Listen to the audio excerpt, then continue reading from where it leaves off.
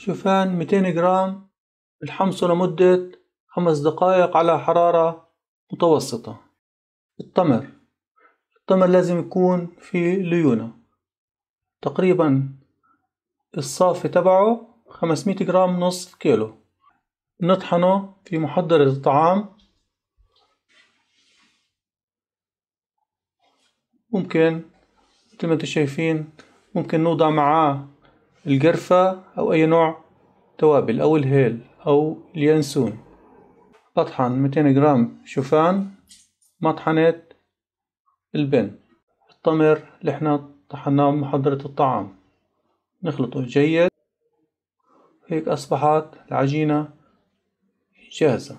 هيك بنعمل الشكل اللي إحنا بنحبه.